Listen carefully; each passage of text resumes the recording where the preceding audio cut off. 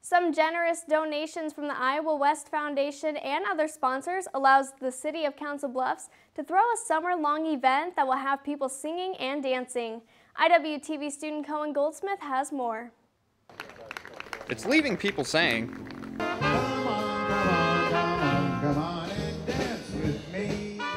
and some just can't get enough. From June 5th to September 5th, Bayliss Park becomes a musical sanctuary with the summer series Music in the Park.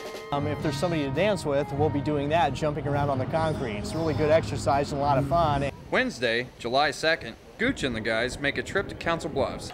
And with the beautiful weather and a large crowd, you can see it's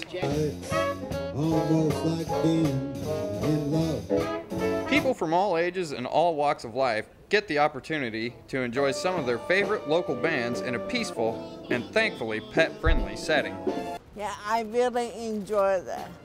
The City of Council Bluffs proves once again you don't have to spend a lot of money to have a great time with some great people.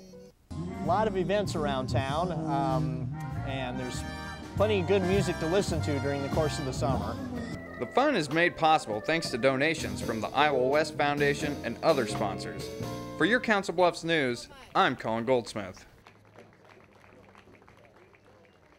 Bayliss Park is a great place for people to go and relax in the summer with live music on Wednesdays and movies on Friday nights. Visit councilbluffs-ia.gov to check out the full schedule of free events.